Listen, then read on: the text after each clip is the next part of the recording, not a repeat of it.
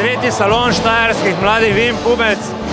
Tukaj v Mariboru v salonu Porsche Ptujska cesta je predstavil 29 pubecov, 29 štajerskih mladih vin, tistih vin, svežih, elegantnih, dišečih, iskrivih, pravih pubecov, dokazal še enkrat več, da je letina 2017 res tista ta prava in verjamem, da bodo pubeci še naprej orali ledino skupaj, združeni, tudi ob spremljavi pristne kulinarike in pa pravega štajerskega benda.